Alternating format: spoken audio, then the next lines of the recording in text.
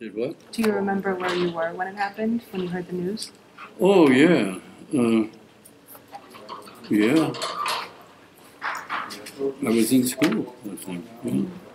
I was in school when I heard it happen. And I said, Pearl Harbor, where's that? right? And I, I think, you know, most of the kids in school probably Pearl Harbor. Would you believe we're going out on missions and just starting and everything?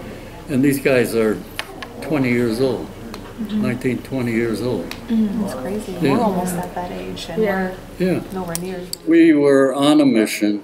I forget where it was. I've got it in here. And we we were out with the whole mob of bombers, and uh, we got maybe three quarters of the way to the bombing run, and we had trouble with our engines. So one engine went completely. So then we went on with one engine. That was okay. So then we had another engine that went out. So we said, we're not going to be able to keep up with the bombers, with the rest of the crews. So we had to turn around and go back to the base, right? So we had to do that all by ourselves. So that meant that we were wide open for any German planes to come in and shoot us down. So they follow you, you know, and shoot you down.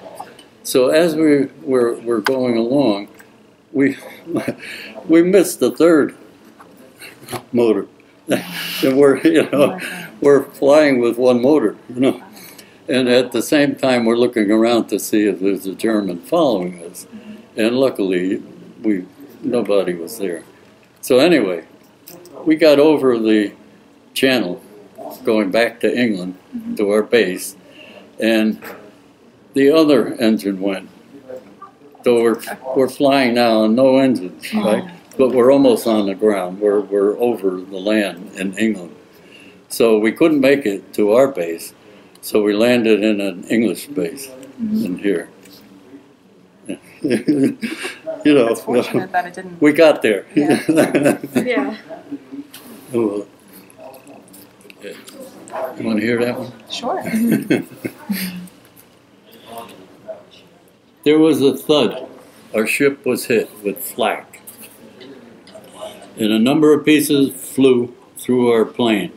I felt a sting on my right leg, around the shin bone. When I looked down, there was a tear in my flight suit and pant leg, but I didn't see any blood. Rolling up my pant leg, I could see a huge black and blue welt where I had felt the sting. What happened was that a piece of steel from the flak penetrated the skin of our plane. It came through a wooden board, then through a piece of canvas, and finally through my flying pant suit leg.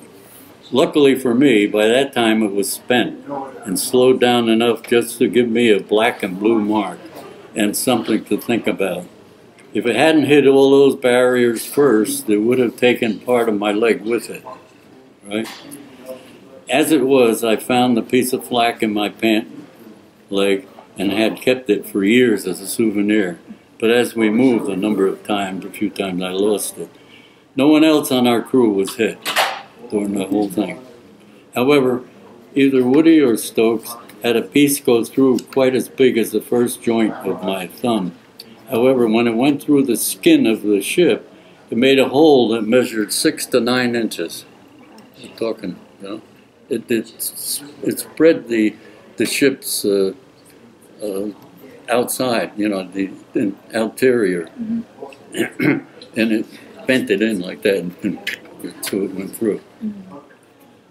It was interesting to me that the piece of flak that hit me was not quite as big as the first joint of my thumb.